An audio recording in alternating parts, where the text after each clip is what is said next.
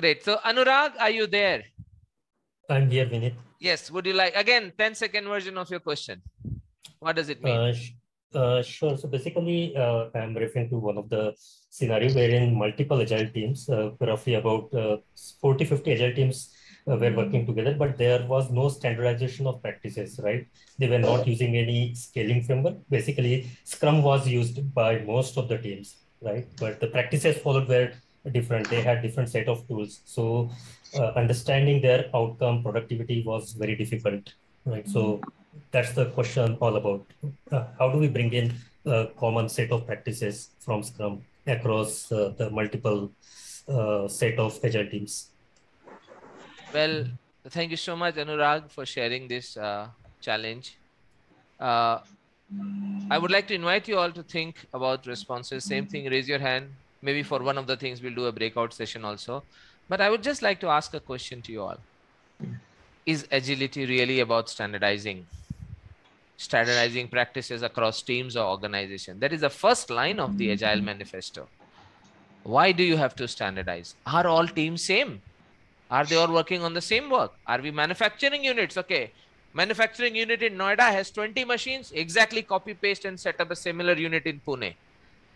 Isn't it? Agility. That is one thing that I would like to hmm. rather leave you with this question. Is hmm. agility really about standardizing across the organization? While I gave you this hint, I would like to invite you all for any specific response to Anurag's question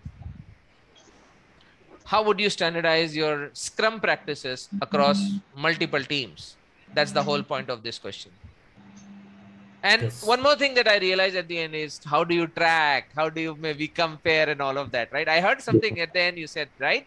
How do you track work of the team something like that. Anyone feel free. You are absolutely encouraged to have a view or a counter view. Maybe i'll nominate somebody now. What do you say tushar? Yeah let's do um, that yeah, yeah. maybe uh, I, I can take it. Uh, and who no, is that? Yeah, please raise your hand first so that we can give priorities to everyone. Okay, who is trying? Yeah, uh, Puneet, I encourage everyone to use this opportunity to share. Let's contribute. That is the only way to grow in life today. Contribution and service, nothing else. Okay, so please come forward while I invite Puneet to share. Yeah, Puneet, short version. Uh, yeah, basic uh, concept that I think of agility is uh, we need to get the work done, and uh, the output outcome should be valuable to the customer. So it it does not have any right way or wrong way. The teams can have their different. Uh, no need of standardization. The teams can have their uh, their own version of, of providing output to the client. Whatever works for them is the right practice for them. Are you saying let's customize Scrum based on the teams? Are you saying no, that? Uh, no, I'm saying that uh, apart from the basic uh, four or five events of Scrum and the basic uh, things of Scrum, we teams are uh, free to work any way they want. I think yeah. Well, great point, Puneet. I think you have nailed it down already. Let's not go further here. This is very clear. Uh, Puneet, thank you so much. This is exactly what I am saying. Uh, let's not confuse ourselves too much. Things are very simple. It's like rule book of cricket right?